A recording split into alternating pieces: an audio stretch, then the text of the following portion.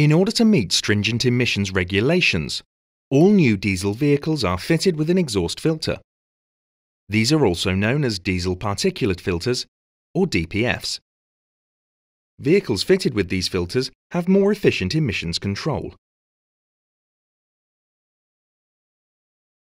During normal driving, particles in the exhaust gases are collected in the exhaust filter. When required, cleaning of the exhaust filter is automatically carried out in a process also known as regeneration.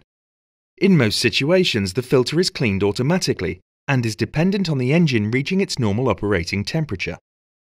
Some driving conditions, like frequently driving short distances, frequently driving in slow-moving traffic, or even in cold weather, may not provide sufficient opportunity for the exhaust filter to self-clean.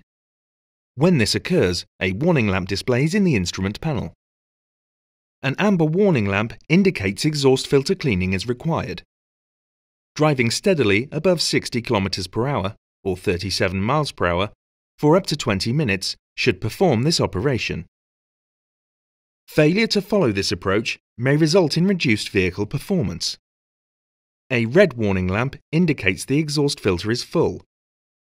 Please contact your Jaguar Land Rover retailer as soon as possible.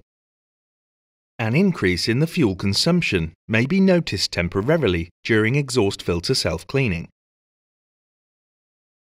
A green indicator lamp will display when the exhaust filter self-cleaning is complete.